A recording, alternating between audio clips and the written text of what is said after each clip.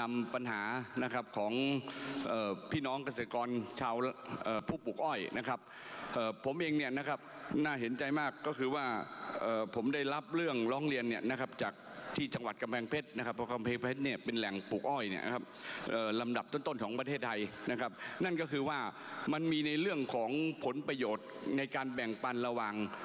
โรงงานน้ำตาลกับเกษตรกรนะครับคือปัจจุบันในใช้อัตรา 70 30 แต่ว่าอย่าลืมว่าในอัตรา 70 30 นี้เนี่ยนะครับเป็นการแบ่งรายได้แต่เฉพาะสิ่งที่เป็นน้ำตาลอย่างเดียว แต่ว่าปัจจุบันนี้เนี่ยนะครับ อ้อยต้นหนึ่งที่ปลูกขึ้นมาแล้วเนี่ยแล้วส่งให้โรงงานเนี่ยนะครับมันจะมีผลิตภัณฑ์อื่นนะครับนอกจากน้ำตาลก็คือนั่นคือทั้งกากอ้อยนะครับ แล้วก็กากน้ำตาลก็คือไอ้โมลาดนั่นแหละแล้วไอ้สองอย่างเนี่ยนะครับเดี๋ยวนี้สามารถโรงงานหลาย ๆ แห่งเนี่ยนะครับที่โรงงานน้ำตาลเนี่ยเขามีโรงไฟฟ้าเองแล้วนำสิ่งเหล่านี้เนี่ยทั้งกากอ้อยกับน้ำตาลไปเป็นเชื้อเพลิงนะครับในการผลิตกระแสไฟฟ้านะครับใช้ในโรงงานเอง แล้วก็ถ้าเหลือเนี่ยก็ส่งขายให้การไฟฟ้า เพราะฉะนั้นแล้วเนี่ยรายได้ตรงนี้เนี่ยที่เกิดขึ้นเนี่ยระหว่างไอ้กากทั้งหลายเนี่ยนะครับกากน้ำตาลกากอ้อยเนี่ยนะครับ ทำไมเกษตรกร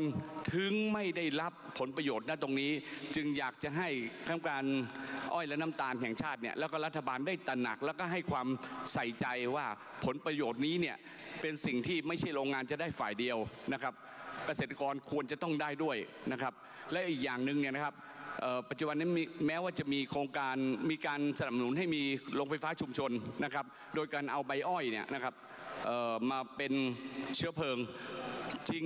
ใบอ้อยเนี่ยเราต้องยอมรับกันว่ามีคุณภาพดีทีเดียว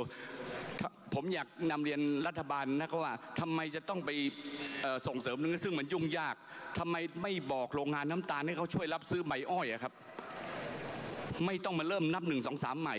ก็กลับเรียนท่านประธานฝากผ่านไปยังรัฐบาลและผู้รับผิดชอบ ให้ช่วยดำเนินการแบ่งปันผลประโยชน์นะครับ ให้กับเกษตรกรชาวไร่อ้อยด้วยครับกลับขอบพระคุณครับ